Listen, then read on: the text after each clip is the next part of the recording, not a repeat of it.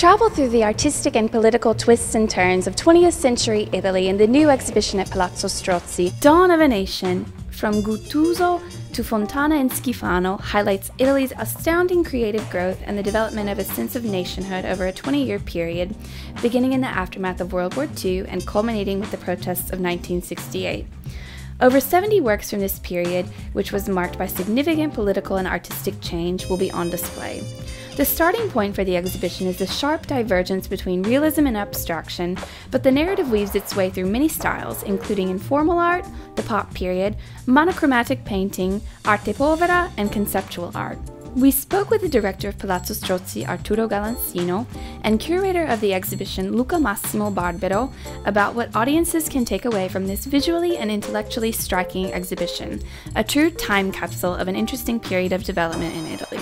Yeah, this exhibition is a long journey through uh, two decades of uh, modern art in Italy, after uh, Second World War until 1968 in this way we are celebrating the 50th anniversary of this important pivotal year of our history. In the meantime, we have tried to give a sense, an historical sense, of all the transformation in the artwork, which are linked to a general transformation in our society, in our economy, in our culture. So we are uh, putting together history and art history uh, in a very original way with a synthesis telling a story so rich, various and interesting. I think the foreign audience could be uh, surprised, positively surprised by this exhibition because normally, generally, we think that the biggest, uh, most important artists of the time were American, especially 50s, 60s, you know. But actually here we discover how Italian art is always avant-garde and uh, if we check today the art price of the market, uh, this is very evident.